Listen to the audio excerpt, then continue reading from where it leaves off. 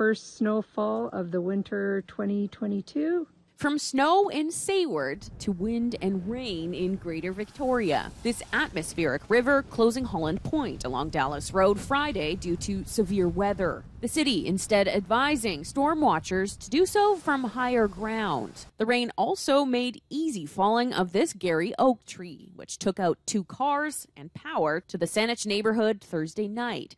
The fire department says the tree was dead, and the recent rain is what brought it down. Arborists say it may have to do with the extended drought we've just come out of, and possibly a sign of things to come. So, when you have a drought stressed tree, it can lose some of its, its integrity in its roots, and if we have a really heavy wind uh, and simultaneous with a really heavy rain, then you can end up with tree failures.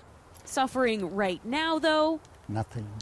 Absolutely nothing mushrooms. David Wald is the president of the South Island Mycological Society. He says the rain is usually good news for mushrooms, but the rainy season has been too short. We've uh, cooked them in the summer up to just recently. Now we're drowning and freezing them. This should be out here big. Mushrooms are slowly popping up, but not in the huge harvests like usual. And the freezing temperatures in the forecast mean we may miss out on certain mushrooms which have very specific seasonal requirements. It's unbelievable. It's the worst year ever, mm-hmm. ever in documented history.